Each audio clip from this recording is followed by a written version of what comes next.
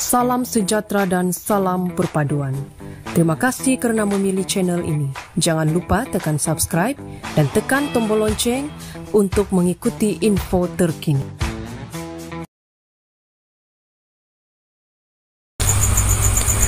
Susulan tular video yang memaparkan mengenakan gaun putih dalam satu sesi fotografi, penyanyi Siti Nordiana akhirnya menafikan dirinya bakal mendirikan rumah tangga.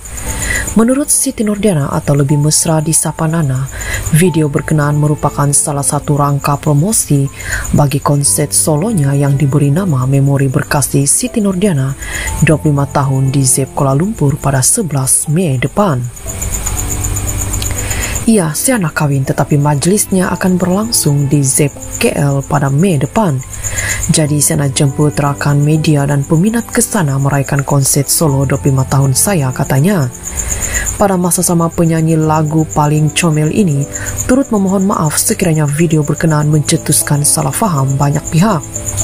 Saya memohon maaf jika ada pihak yang salah faham dan menyangka saya akan bernikah selepas tersebar foto berbaju pengantin. Konsep ini ibarat perkawinan bersama peminat yang sudah lama menanti konsep solo saya, ujarnya.